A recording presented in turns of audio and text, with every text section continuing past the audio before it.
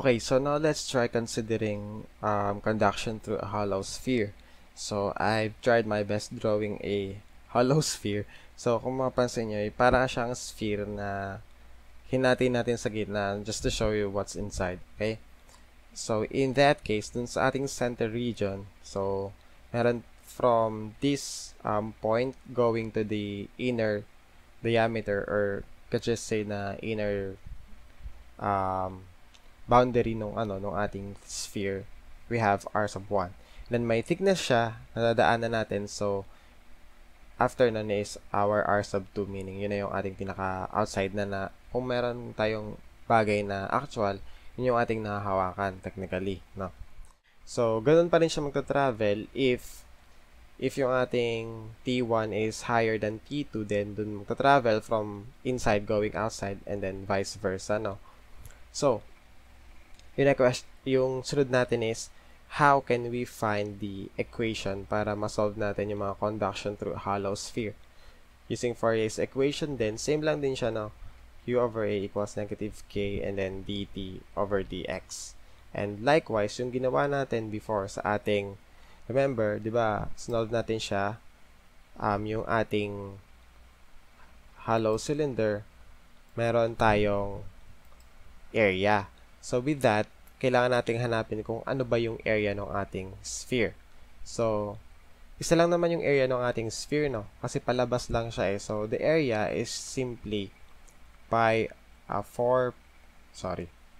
So, the area is simply 4 pi r squared. So, yun lang naman yung area ng ating sphere eh. So, with that, we can now substitute that to our area. Um, 4 pi r squared and then equal to sa negative k dt.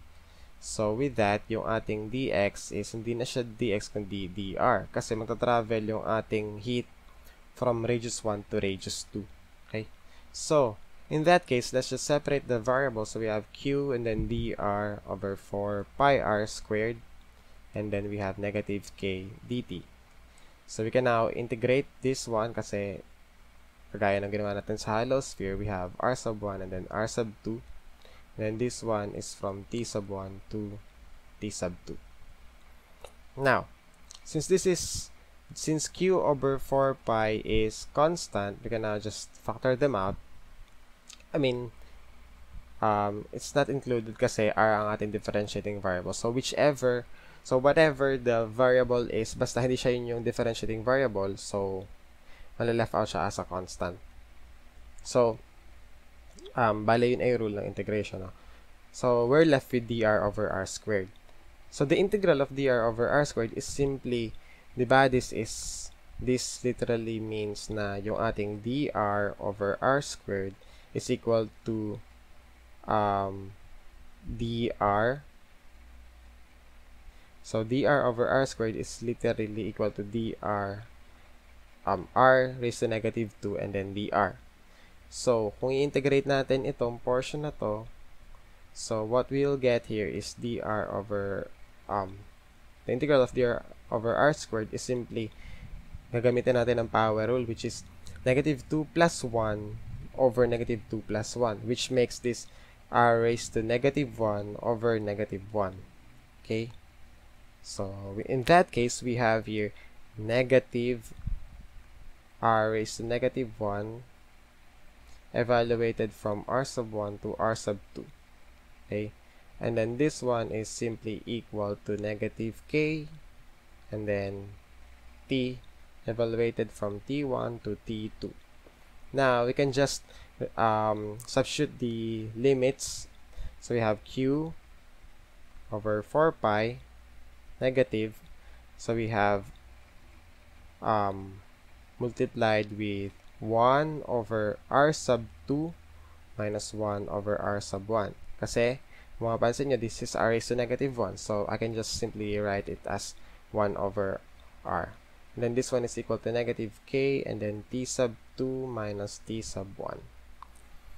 Now, we can just simplify this further by taking out all the negatives para hindi tayo nalilito masyado, no? So with that, let's just distribute this negative dito sa ating r. So, in that case, this is q over 4 pi. Since madidistribute siya, magbabaliktad ngayon yung ating expression. So, 1 over r sub 1 na to, and then 1 r sub 2 na itong isa. Okay? So, malinaw dapat sa inyo na since na-distribute to, this one becomes negative and this one becomes positive.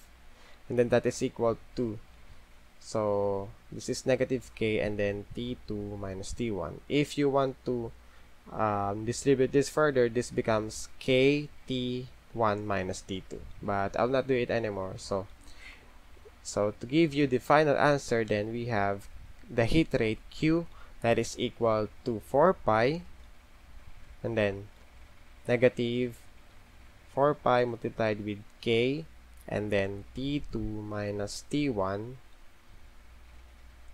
divided by 1 over r sub 1 minus 1 over r sub 2.